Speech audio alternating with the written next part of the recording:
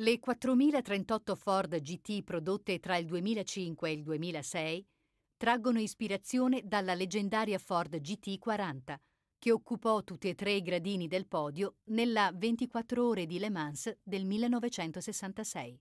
Priva di fibre di carbonio e assistenza computerizzata, la Ford GT può sembrare obsoleta se paragonata alle moderne supersportive, come dimostrava già il suo predecessore, tuttavia in pista sono i numeri a fare la differenza.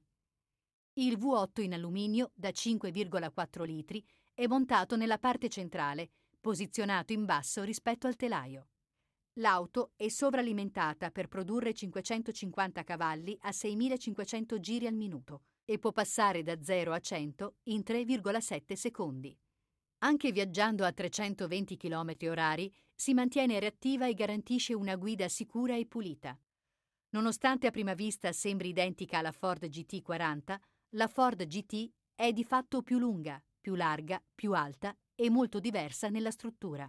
Col modello del 2006 furono aggiunti due nuovi colori alla palette della Ford GT, riservati a un'edizione limitata con particolari schemi di verniciatura il grigio tungsteno con strisce argentate e le particolari livree in blu o arancio Heritage.